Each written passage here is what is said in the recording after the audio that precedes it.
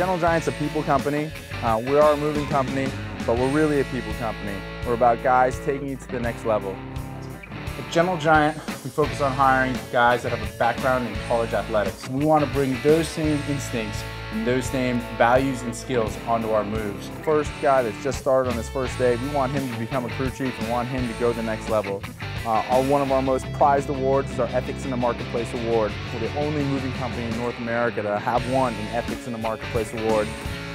Gentle Giant, we're not trying to just become a great moving company. We're trying to become the number one moving company in the country. We specialize in, in those very high-end kind of moves, but we can also do um, smaller moves, apartment moves, um, we really cover the spectrum.